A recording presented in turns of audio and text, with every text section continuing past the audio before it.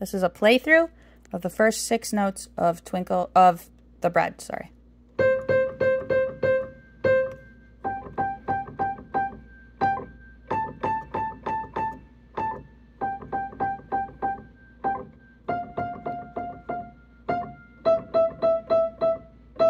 right, I'm gonna do it again, and I'm gonna try to leave my fingers, my hand a little more open so you can see what fingers I'm using.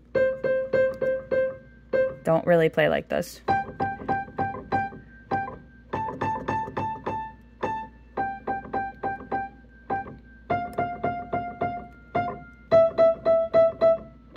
Your goal is to play with your hand closed.